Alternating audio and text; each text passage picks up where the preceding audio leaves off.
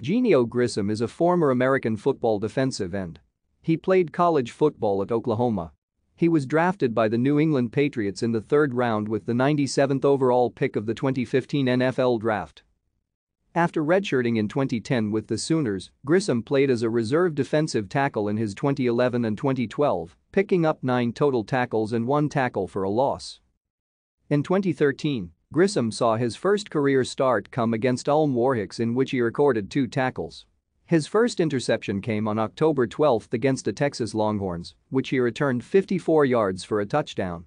In the Sugar Bowl against Alabama, Grissom recorded 2.5 sacks, broke up a pass, and recovered two fumbles. He returned one of these fumbles for an 8-yard touchdown and had a total of 34 return yards. As a senior at Oklahoma in 2014, Grissom was named an honorable mention for the All-Big 12 after recording 39 tackles and 3.5 sacks on the year. Over his four seasons at Oklahoma, he registered 88 tackles, 8 sacks, 2 forced fumbles, 3 fumble recoveries and 2 interceptions, while playing in 39 games with 12 starts. On November 10, 2014, it was announced that Grissom had accepted his invitation to play in the 2015 Senior Bowl. Thank you for watching. Like and subscribe if you would like to view more of our videos. Have a nice day.